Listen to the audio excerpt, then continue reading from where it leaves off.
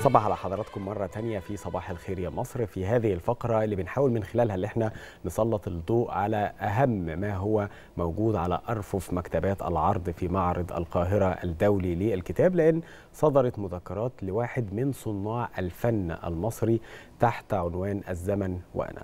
المذكرات دي بتحكي رحلة الفنان فاروق فلوكس مع الفن اللي امتدت على مدار 60 سنة تقريبا شارك من خلالها في مئات الأعمال ما بين المسرح والسينما.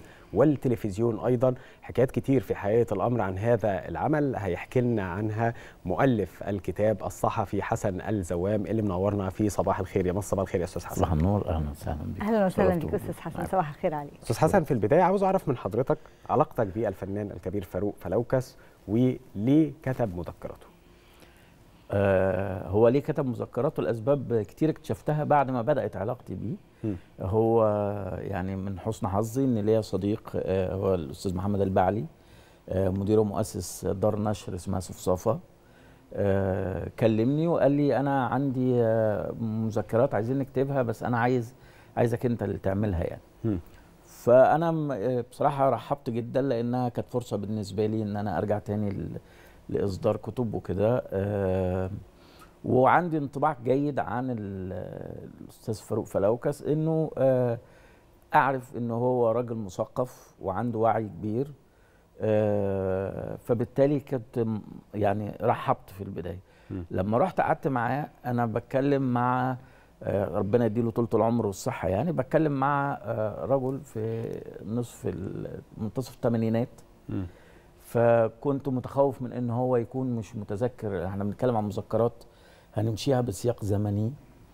آه لقيته راجل حضوره رائع. آه الملامح الأولانية اللي حكاها لي بقيت خلاص عارف إن في حاجة عظيمة هتطلع من هذا العمل. ثم استمرت ال- الجلسات. أنا ال- اللي عرفني أصلا مدار النشر بنته الدكتورة يسرا فلوكس وهي مخرجة المخرجة في. التلفزيون المصري وشخصية جميلة ودؤوبة يعني. هي نفسها كمان آه، هي صاحبة فكرة أصلا كتابة المذكرات وهي هي. اللي طرحت الفكرة على الفنان على الناشر فاروق والناشر فلوكس تواصل. اللي آه. تحمس لها كتير. بالظبط كده. فهي عارفة الجلسة الأولانية بنبدأ نختبر بعض. ه- هيعرف الكيمياء تمشي مع مع الفنان فاروق فلوكس مش هتمشي. هي جلسة واحدة وبعدين قررنا إن إحنا نخوض هذا نخوض هذه التجربة. استمرت تقريبا أربع أشهر تسجيلات سجلت أكتر من 40 ساعة. آه بسم الله ما شاء الله هو كل ما يعني إحنا بعد ما خلصنا المذكرات حجم الحاجات اللي إحنا افتكرنا إن إحنا ما حطيناهاش تقريبا توازي جزء تاني أكبر من الكتاب. من آه، توازي جزء تاني من الكتاب. الكتاب آه، 492 صفحة. آه مليانين حياة. مليانين حياة بشكل من الطفولة. طب أنا عايزة أتكلم لغاية- بقى عن الحياة دي. فكرة إن الفنان فاروق فلوكس عاصر منذ أيام الملكية وحتى الآن شاف أشكال مختلفة آه، من الحياة بقى ومراحل كتير عدت على مصر. مراحل كتير من شكل الفن آه، ال- التعامل مع الهندسة. حاجات كتير قوي ومحطات كتير قوي ممكن تكون مادة ثرية وقدر يتكلم عنها وحضرتك تبرزها في المذكرات مادة في غاية الثراء ال- آه، الزمن وأنا مش مذكرات فنية. مذكرات سياسية واجتماعية واقتصادية وبتلم يعني مرصود فيها شكل المجتمع وهو بيتحول من سنة 37 لغاية يومنا ده. هو مواليد 10 فبراير سنة 37 وكان من حسن حظه إنه مولود في مواجهة اسرى عابدين. يعني هو. كان جار الملك. فإنك تبقى موجود في مواجهة قصر الحكم بتل... شكل تفاصيله تلقائي. شاهد. كتير شكل كمان تلقائي. على أنت بت- على العديد تصحى من الصبح. تشوف ال- الملك وهو خارج بالموكب بتاعه. مين اللي داخل قصر الحكم؟ مين اللي خارج من قصر الحكم؟ المنطقة اللي حوالين قصر عابدين هي منطقة كوزموبوليتان متعددة الثقافات والأعراق بشكل اللي هو طبعا. كان بيوصفه لي حاجة آه، تأهل تجعل النشأة دي بشكل تلقائي تطلع حد مختلف بيتعامل مع مصريين بكل الأجناس نوبيين وبحراويين و- وبيتعامل مع أجانب طليان إنجليز فرنسويين آه، بيتعامل مع هنود بيتعامل مع مسلمين يهود مسيحيين انفتاح. كل ده كان مختلفة. موجود في لأنها كانت مدينة الحكم ميدان عابدين كانت المنطقة والمنطقة المجاورة ليه هي منطقة الحكم م. فكان حوالين منطقة الحكم كل الثقافات اللي ممكن تكون موجودة في مصر في العصر ده كمان وكان عصر يعني انفتاح ثقافي والقاهرة كانت من من أهم يمكن إحنا بنشوف صور دلوقتي برضه ليه. آه، آه دي دي دي دي عروض آه، يعني ده ده عرض آه، الوحيد على المسرح. الصورة اللي فاتت آه، للفنانة نادية لطفي عملت مسرحية واحدة اللي هي مسرحية بامبا كشر. مع الأستاذ يحيى الفخراني مع سمير خفاجي. كل دي من ال من الكواليس الصور. ال- أنا الصور يعني الصور دي طلعتها ده يعتبر فرز العاشر من 65 ألف صورة. محتفظ لا لا. لا قولي الرقم تاني 65 ألف صورة إزاي ال- فرست هقول لك- 65000 سوق قعدت فيهم قد إيه دول؟ لا هو محتفظ ب لا، لا، 65000 فرزنا- صورة لا فكرة الاحتفاظ ب 65 آه ألف صورة بالظبط بتقولها. الاحتفاظ بال ال- ال- المهندس بقى الفنان الإنسان فاروق فلوكس واسمه فاروق توفيق صالح مبارك مثلا أنا وأنا قاعد بكتب معاه ال- الحاجة وبنسجل فإحنا بنتكلم عن معلومة معينة ولتكن إن هو مثلا دخل مسبيرو سنة آه، 65 هم. بس هو ركب الاتوبيس النهري مثلا. فخلاص أنا بحط المعلومة كده. بعد ما خلصنا كل الكلام في مرحلة توثيق لأنه ربما يكون في اختلاف في تواريخ طبعا افتكر حاجة نسي حاجة. تذكرة الأتوبيس النهري موجود عنده. لما نزل انتخابات في كلية الهندسة الدعاية الانتخابية موجودة من ضمن الصور. الدعاية الانتخابية اللي عملها آه، سنة 61 آه، موجوده عنده ال- الحاجات.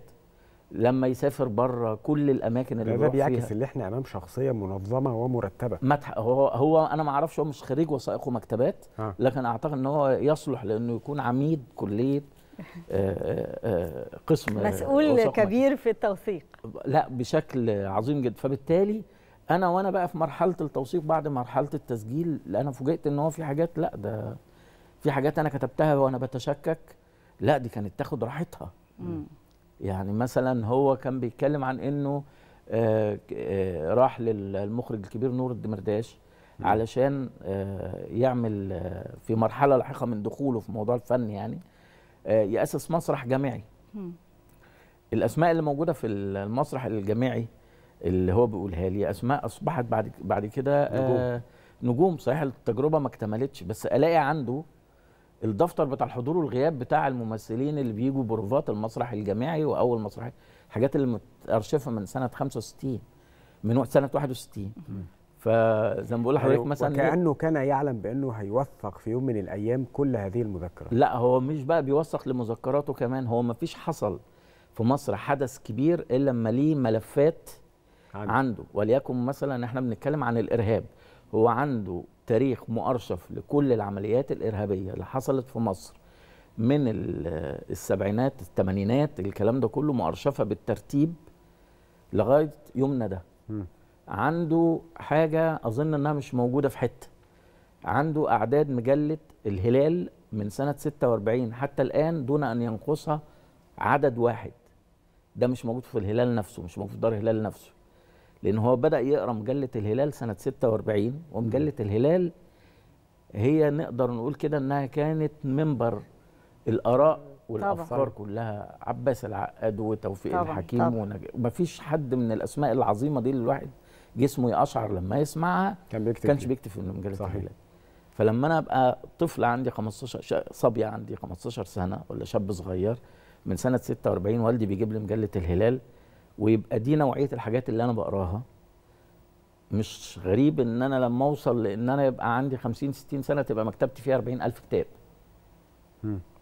هو مش غريب. بس صعب إنه يحتفظ بال 40000 كتاب وإنه يارشفهم ما وإنهم يبقوا كلهم بحاله جيدة وإنه يبقى عارف حاجته. لا عارف يعني لا عارف حاجته طبعا. ما يعني إيه، يسر بقى ليها كل الشكر والتحية لأن هي الحاجات دي متوزعة عندها بشكل بس عارفين إحنا عملت بنمد يعني كمخرجة عملت الإخراج المكتبي لهذه عملت المكتبه إخراج يعني. مكتبي وهو- وهي وهو يسر في حقيقه كمان- الامر شاطرة في ده بصراحة. وهو وهي وهو كمان لما يحط حاجة مثلا على المكتب يعني عايز يتكلم في ملف معين يبقى الملف الأبيض اللي على الشمال في المكتب. آه، خلاص ده آه، معروف شديد فيه إيه. برغم من ده ما لقيناش إن في جانب من الجوانب تم التركيز عليه أكتر من غيره في المذكرات نقدر نقول إنها بانوراما ما فيش مثلا الجانب الفني أو علاقته بالهندسة فقط أو علاقته بالطفولة أو بدايته في الطفولة فقط أو الجانب السياسي فقط. ما فيش حاجة كانت واخدة مساحة أكتر من غيرها في المذكرات هو أنا كنت نفسي هل ده. كان متعمد؟ لا أنا كان نفسي إن يبقى في حاجة بركز عليها بس أنا مش معرفتش أركز على حاجة. ليه؟ م. اولا الجزء الخاص بالطفولة ووصف التحولات السياسية اللي, عاشت فيها مصر وهو ليه رأي فيها فيما يتعلق بقى من بداية الملك ثم الأزمة بتاعة الحكومات مع حكومة حادث 4 فبراير ثم حريق القاهرة ثم ثورة 52 ثم تغير نمط الحكم وتغير شخوص الحكم.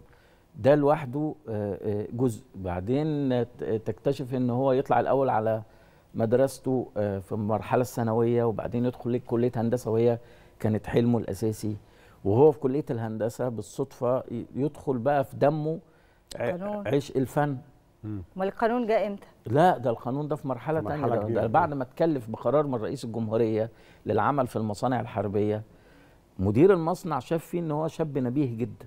قال له تعالى إحنا في مرحلة معينة كمان كام سنة هيجيبونا علشان نبقى كيان مستقل وده هيحتاج خبرات قانونية.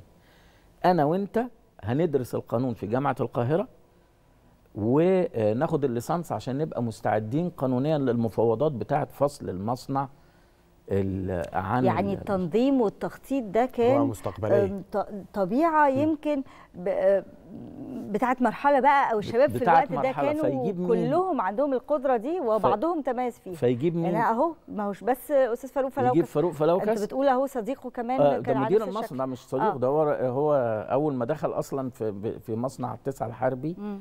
آه، الشخص اللي استقبله مديره مم. مدير مصنع التسعة الحربي آه، هو بدأ يعمل حركة وشافوا إن هو شاب دؤوب يعني فتعالى لا أنت ذكي فهتدرس قانون وأنا هدرس قانون والعربية الخاصة هتوصلنا إحنا الاثنين يعني أنا أروح يوم وأنت هتروح يوم بعربيتي الخاصة. ما هو أنت مش كل موظف عندك هتدي له فرصة إن هو يدرس عشان لازم تكون لمحت في حاجة وشايف في حاجة اللي هو. يستحق اللي أنت قبل ما. يدخل مصنع تسعة الحربي بتحصل في حياته صدفة غريبة جدا إيه ال- حسن الاستاذ حسن فهمي. اللي هو والد ال- راقصة الفن الشعبي الشهيرة فريدة فهمي. طبعا.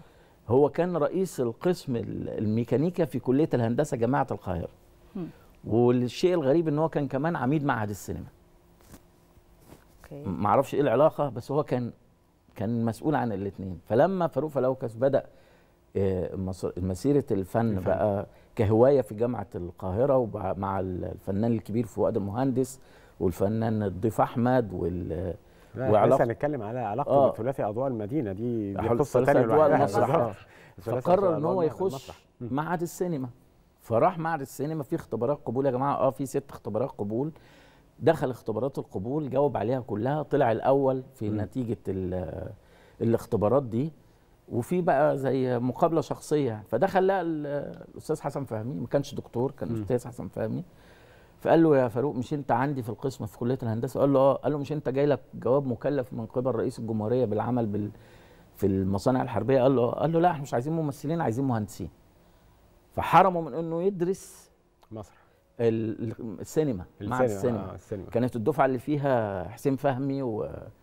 و... وأسماء كبيرة يعني مم. في في معهد السينما. فاضطر إن هو يبدأ يركز في شغل الهندسة وهو خد في الرحلة دي كمهندس آه، متنقل من من كان كيانات كبيرة جدا زي شركة النصر للاستيراد والتصدير زي شركة السينما آه، التنقل ده عمل فيه مسيرة عظيمة مهنية يعني في الهندسة لغاية ما وصل لدرجة وكيل وزارة في في الهندسة وفي نفس الوقت ماشي في التراك الفني. يعني عشان كده إحنا يعني أو اخترتم عنوان الزمن وأنا. علشان يسلط الضوء على ما فعل به الزمن في خلال هذه الفترة أو هذه المسيرة فنقدر نشوف إزاي شكل جوانب مختلفة من حياته؟ بالظبط كده. هو أستاذ كنا فاروق هو اللي اختار؟ آه هو اللي اختار كلمة أنا كنت عايز أعمل حاجة اسمها هو- مؤمن وأنا كمان مؤمن بإنه ال- الزمن ده عامل زي الوابور بتاع القطر. هو بيمشي ملوش دعوة بحد يعني لا, لا شيء يعطل الزمن نهائي. الزمن ماشي وبيهرس تحت منه الأحداث وال والأشخاص يعني مفيش مفيش يوم مش خمسة مش 24 ساعة صحيح الزمن بيجري بلا توقف وما فيش حد يقدر يوقفه فأنا كنت مثلا حاطط اسم مقترح اسم وبور الزمن أو مثلا حجر الرحايا لأن هو حجر الرحايا اللي بيلف ده مش مم. هو المنتج رغم إن هو أكتر حاجة بت بتتعب في الموضوع مم. هو في الآخر استقرينا على اسم الزمن وأنا لأنه بيعبر شوية عن آه، آه، رؤيته في الفكرة اللي أنت بتقولها. انه الزمن هو اللي بي بي يعني إحنا ما بنعملش حاجة هو اللي بيشكل هو اللي بيشكل بقى كل اللي- الأحداث آه ده. فكرة بس. طرح أو في شكل مطروح إن المذكرات يتم تقديمها بشكل مختلف بودكاست مثلا أو أو شكل مختلف بحيث إن إحنا نحافظ على استمراريتها فترة أطول آه يسر بقى. عندها الأفكار الجميله دي عايز تعمل ده ما أعرفش هل ممكن الموضوع يتطور ان هو يتعمل في عمل آخر يعني آه ولا لا. بس هي مركزة كويس. آه العلاقة ما بينها وما بين والدها ربنا يديله طولة العمر يعني. آه علاقة جميلة وفريدة.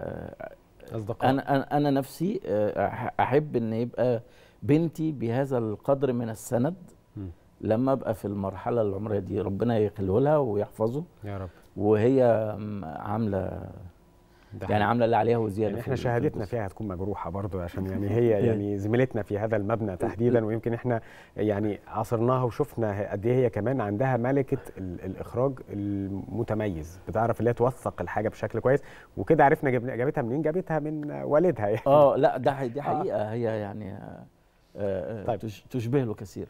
إحنا ما اتكلمناش على علاقته بقى بالفنانين تحديدا لأن كانت في هذه الفترة من الزمن كان في نجوم وكان في أسماء ساطعة في سماء الفن تحديدا. لو. هنتكلم على آه، ثلاثي أضواء المسرح تحديدا وغيرها من النجوم أو غيرهم من النجوم والفنانين. كانت علاقة آه، فاروق فلوكس بيهم إيه؟ آه هو دخل المجال الفني بالصدفة. هو كان موهوب وتعلم ال- الرسم والحاجات يعني دي قصة صغيرة بس محتاج أحكيها. اتفضل. هو كان في مدرسة اسمها مدرسة القربية كان آه ليه صديق آه نوبي طفل نوبي. والده آه كان من المساعدين لمصطفى باشا النحاس. مم. فكان شاف فاروق طفل اسمه فاروق عنده في البيت بيرسم. فمين يا ولاد اللي رسم الرسمة دي؟ قالوا له ده فاروق. من الطبيعي إن هو برافو عليك يا حبيبي شاطر. لا ده تاني يوم راح المدرسة قابل مدرس الفن, الفن في المدرسة قال له في عندك طفل اسمه فاروق خلي بالك منه ونمي مهارته. لأنه موهوب. لأنه موهوب. يعني أنا بكلمك مش إن هو بيوصي على ابنه ده بيوصي على صديق ابنه اللي شافه في بيته بالصدفة وشاف منه رسم مم. فراح وصل المدرس. المدرس خده اتعلم الرسم عند آه، في مرسم يملكه آه، رسام يهودي ووداه الجمعية الجغرافية اتعلم نسب الرسم والخرائط الجغرافية فأصبحت عنده موهبة. الموهبة دي وهو في كلية الهندسة استغلها في إن هو كان بيساعد الطلبة في تصميم اللوحات الهندسية. هو لازال حتى الآن خطه جميل جدا رسوماته جميل جدا عنده كم عظيم من الرسومات اللي البورتريهات بالفحم وبالقلم الرصاص وأعمال فنية في البيت عنده. وهو بيعمل الحاجات دي شافه حد صديق اسمه مصطفى النيال قال له ما تيجي تمثل. مم. طيب خلاص تيجي تمثل. راح آه، يحضر بروفات تبع آه، مسرح كلية الهندسة. آه، أول بروفة فشل فيها. بعد كده فضل يكمل لغاية ما جابوا الأستاذ أبو بكر عزت الفنان أبو بكر عزت رحمة الله عليه. الله يرحمه. الله يرحمه. طلب إن هو من الناس الموجودين يعملوا عرض بانتومايم تمثيل صامت. فهو اللي المفروض كان قاعد يعني نوع من أنواع كمالة العدد كده طلع عمل العرض البانتومايم تمثيل الصامت نجح فيه. يقدمه ياخد فيه ميدالية في كلية هندسة يوجهه أبو بكر عزت لرعاية الشباب. فاروق فلوكس الطفل اللي نجح في الرسم وتحول إلى الهندسة ومن الهندسة إلى, إلى الفن. الفن. والفن البانتومايم وأشكال مختلفة ودراسة ال- القانون. فاروق فلوكس الذي لا يعرفه أحد وحضرتك قدمت الجانب الذي لا يعرفه أحد في حياة الفنان فاروق فلوكس اللي بنوجه له كل التحية آه، يعني ربنا يبارك في صحته وفي الأعمال الجميلة اللي قدمها لنا. وحضرتك طبعا أبرزت بقلمك آه، يعني شكل هذه الحياة. إحنا بنشكرك وسعداء بوجودك وسعداء. بإنتاجك. أهلا وسهلا. أهلا وسهلا. شكرا للكاتب الصحفي. حسن الزوام. بنشكر حضرتك يا فندم على يعني هذا اللقاء. وطبعا الشكر لصاحب الفضل إن حضرتك تكون معنا في هذا آه، اللقاء. الفنان القدير فاروق آه، فلوكس. ربنا يديله الصحة يا رب شكراً لك. وطولة العمر.